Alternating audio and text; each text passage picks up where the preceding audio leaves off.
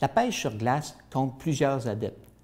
Et afin d'offrir la possibilité au public de prendre part à cette belle tradition de chez nous, l'activité Hookfest est présentée à l'espace Filion de l'Ange Gardien. Voici les détails de cette activité hivernale. Bien, ça a commencé un peu entre amis. Euh, c'est une question de pêche à la glace. Ça fait 10-12 ans qu'on pêche les glaces l'hiver, ici à l'Ange Gardien. Puis, euh, c'est faire profiter un peu les gens de, notre activité, puis le faire connaître, initier les jeunes, surtout la relève aussi. Puis ça a commencé entre amis, puis euh, après ça, euh, ça l'a enclenché, puis ça l'a grossi. Il s'est greffé un peu de musique à ça.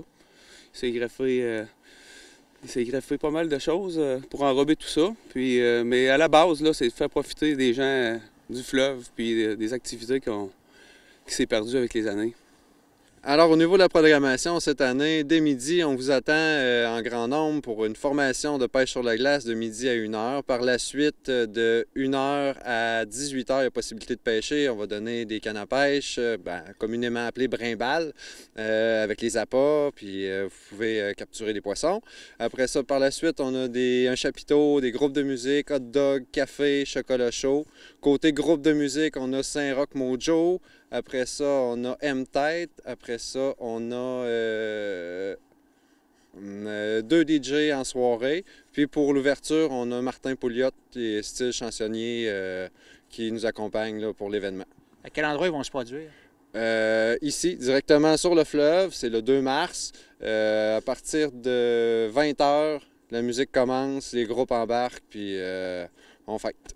Quel poisson qu'on retrouve dans le fleuve qu'on peut pêcher ici? On peut attraper le corégone, on peut attraper le poisson des chenaux, on peut attraper de l'éperlan, de l'esturgeon, de la barbotte, euh, du, Il y a un masquinongé qui s'est sorti l'année passée, on peut du brochet. C'est vraiment à large. Le fleuve nous offre euh, toujours des surprises.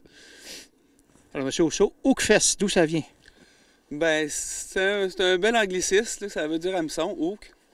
Puis, euh, c'est un terme de pêche quand que première fois que je suis allé aux États-Unis pêcher, ou que c'est quand on fait con, ça, ça a parti de ça, fesse. Puis euh, ça a parti euh, tout petit, puis d'année en année, on est toujours surpris de voir que ça, ça prend de l'ampleur. Combien d'éditions? C'est la troisième édition cette année. Puis euh, il va y avoir encore des surprises. Il y a encore des détails à venir. On ne peut pas tout dévoiler. On en garde un petit peu pour, pour chaque semaine. Puis euh, on vous attend en grand nombre le 2 mars avec vos familles à partir de midi. C'est génial pour les enfants, puis les adultes aussi. Euh, voir un enfant prendre un petit poisson, là, ça n'a pas de prix.